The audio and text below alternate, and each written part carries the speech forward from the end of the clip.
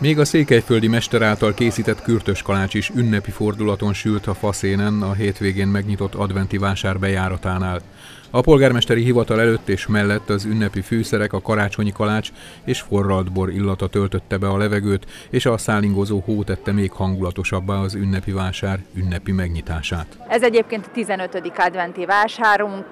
Fontosnak tartjuk azt, hogy a hegyvidékiek életében az advent az ne csupán az ajándékokért való rohangálásról szóljon, hanem egy kicsit módjukban legyen elmélyülni, valóban úgy megélni az adventi időszakot, ahogyan kell, az legyen az adventi időszak, ami valójában a megváltó születésének a várása, és ehhez igyekszünk hozzájárulni ehhez a, ezzel a vásárral. A nívós kézműves termékek, illetve a házi készítésű finomságok mellett a kulturális programok teljes tárháza várta és várja egészen karácsonyig a hegyvidékieket.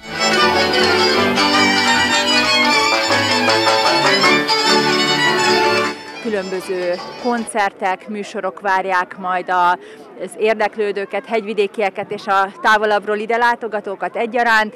Gyerekeknek, felnőtteknek koncertek, különböző előadások lesznek, lesz tűzzsonglőr, közkívánatra ismét lesz fényfestés az önkormányzat falán, zenei aláfestéssel, a gyerekeknek kézműves foglalkozások. A hegyvidéki adventi vásárhoz kapcsolódóan idén is meghirdették az ünnepi rajzversenyt, amelynek apropóját, azaz címét Szabó T. Anna verséből vették az adventi kalendáriumból.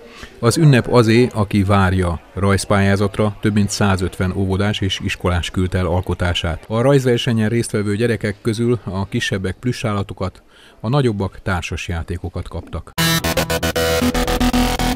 Hatalmas tömeg gyűlt össze a Millenáris D épületében advent első vasárnapján.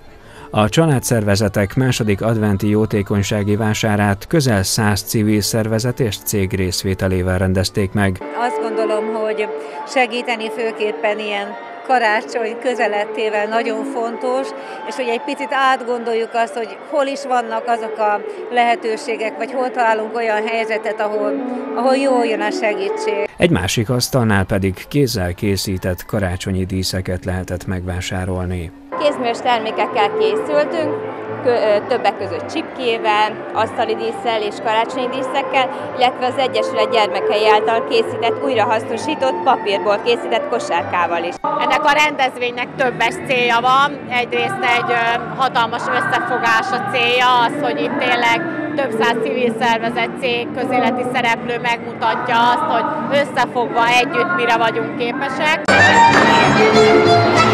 A vásári forgatagban egész nap egymást követték a színpadi fellépők, a gyerekeket pedig játszóház is várta. Az esemény fővédnöke idén is Herceg Anita, a köztársasági elnök felesége volt. A vásár bevételével a koraszülött gyerekek megsegítésére létrehozott Melletted a helyem egyesületet támogatták a szervezők.